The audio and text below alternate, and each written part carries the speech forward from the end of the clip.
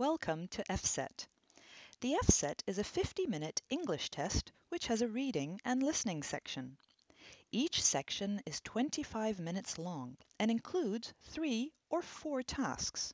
A reading task has a passage and a set of questions relating to that passage.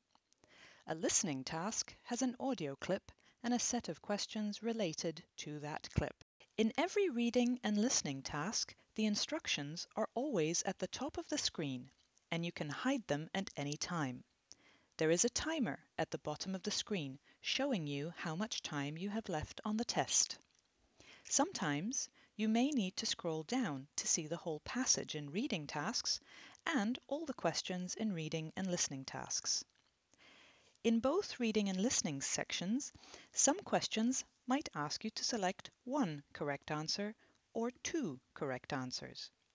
Please read the questions very carefully. Once you select your answers, you can click the Continue button at the bottom right-hand corner of the screen. If you have not answered all the questions, you can go back and answer the remaining questions. If you cannot answer all the questions, you can go to the next task.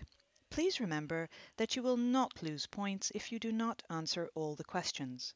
Just do your best, and if the questions seem difficult, you can move on to the next task. Remember, once you move on to the next task, you cannot go back. In the listening section, before each task, there is an audio check. If you can hear the audio, press Yes. In the task, you can listen to every audio two times. Remember, you can always read the questions before you start the first play. You're now ready to start the test. Good luck!